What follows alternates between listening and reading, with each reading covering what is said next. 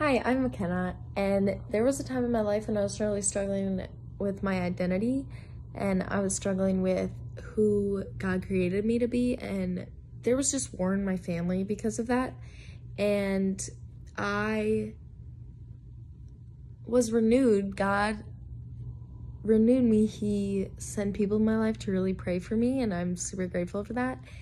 And now I am living in freedom. I got baptized, and I'm now a leader of Collision. I am super grateful for what God has done, and I'm really excited to know what He's going to do in the future. Do you have a story like that?